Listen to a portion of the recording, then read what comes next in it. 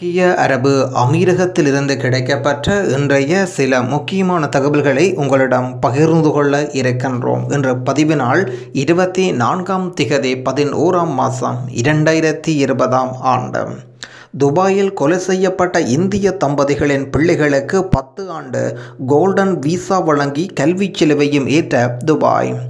துபாயில் கடந்த யூன் மாதத்தில் பாகிஸ்தான் நாட்டைச் சேர்ந்த ஒருவரால் தங்கள் வீட்டில் வைத்தே கொலை செய்யப்பட்ட இந்திய தம்பதிகளின் இரண்டு மகள்கள் மற்றும் அவர்களின் தாத்தா பாட்டி ஒவ்வொருவருக்கும் அமீரகத்தில் தங்குவதற்கான பத்து ஆண்டு கோல்டன் விசாவை துபாய் அரசு வழங்கியுள்ளது.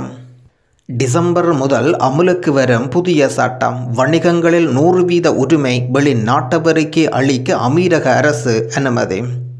அமீரகத்தில் தேசிய தினத்தை முன்னிட்டு போக்குவரத்து அபராதத்தில் ஐம்பது சதவீதம் தள்ளுபடி. பிளாக் ஃப்ரைடே எல்லோ ஃப்ரைடே மற்றும் சூப்பர் ஃப்ரைடே சோல் அமீரகத்தில் தொடங்கிய அதிரடி தள்ளுபடி. கடந்த இருபத்தி நான்கு மணி நேரத்தில் ஆயிரத்தி அறுபத்தி ஐந்து நபர்களுக்கு வைரஸ் தொற்று இனம் காணப்பட்டிருக்கின்றது. புதிதாக சேரும் மாணவர்களுக்கு கட்டணத்தில் ஐம்பது வீதம் வரை தள்ளுபடி அபுதாபி பள்ளி வெளியிட்டுள்ள அதிரடி அறிவிப்பு.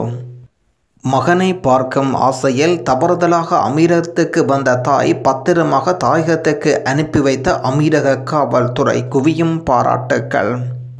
இன்றைய நாணய பெறுமதிகள் இந்திய ரூபாவில் இருபது தசம் எட்டு புள்ளிகள் இலங்கை ரூபாவில் ஐம்பது தசம் முப்பத்தி ஒரு புள்ளிகள். அமீரகத்தின் இன்றைய தங்கம் வெள்ளி நிலவரங்கள். இருபத்தி ரெண்டு கரட் தங்கத்தின் பெறுமதி இருநூற்றி பதிமூன்று தீர்க்கம். இருபத்தி நான்கு கரட் தங்கத்தின் பெறுமதி இருநூற்றி இருபத்தி ஆறு தசம் எழுபத்தி ஐந்து புள்ளிகள்.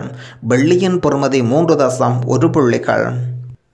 கனமழை அதிவேக தூசு காற்று என்று அடுத்தடுத்து எச்சரிக்கை அளித்த அமீரக வானிலை ஆய்வு மையம். நன்றி மீண்டும் இன்னும் ஒரு ஐக்கிய அரபு அமீரகம் பற்றிய தகவல் ஒன்றில் உங்களை சந்திப்போம்.